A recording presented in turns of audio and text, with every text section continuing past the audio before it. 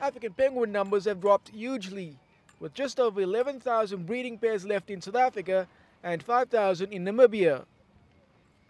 To halt that decline, conservationists set up a new penguin colony at the De Hoop Nature Reserve in the Western Cape.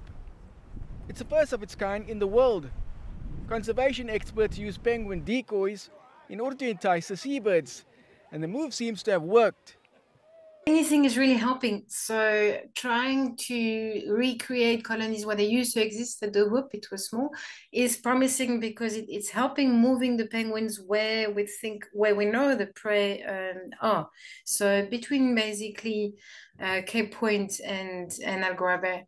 So it's helping. It's just a very long term. Um, management because it will take so last year we had the first nest this year we have we have a few more. With the Western Cape's three colonies being home to the majority of the penguin population, the De colony is developing into the region's fourth.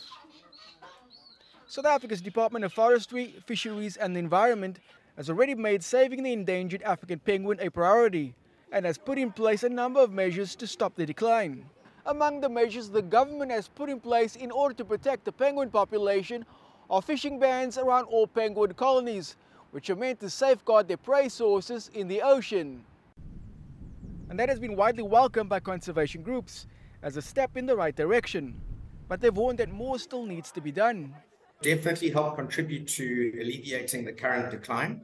Um, it's not the silver bullet for uh, African penguin uh, conservation. Uh, there are other threats that they face. Uh, one of the most notable ones is just the status of the, the sardine stock at the moment um, throughout the sardine stocks range in South Africa, which is well below the long-term average. For now, the African penguin is still expected to become functionally extinct by 2030, but the new colony gives the species a fighting chance for survival.